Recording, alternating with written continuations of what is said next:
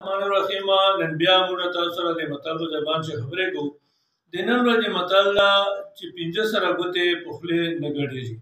دا د لاس پنځه ګوتې دي نو دا به ودی په خولې سړی نسی ګډولې نو دا متل مقصد دا ده چې که چېرته څوک ګټه کوي او بل چا باندې نه لورېږي او چرسه داسې خبره ای لیا سکیمانی لیا بل داسې ګټه ای لیا کمیشنی لیا مثال دنیایي نور ګټه دکانداری مزکه چرسه دی فائدې جي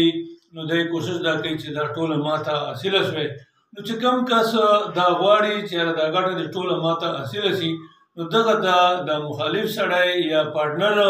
یا ورته سره کاروبار باندې شریک سو دا مطلب ورته تیری چې یاره پنځه سره ګوتې په خولې نه ګډېږي نو لږ لږ لمونځ سره کوه که ډېره ته خورې ډېره ته خوره نو دا مطلب داسې وخت استعمال شوی ده ډېره مهرباني ډېره شکریه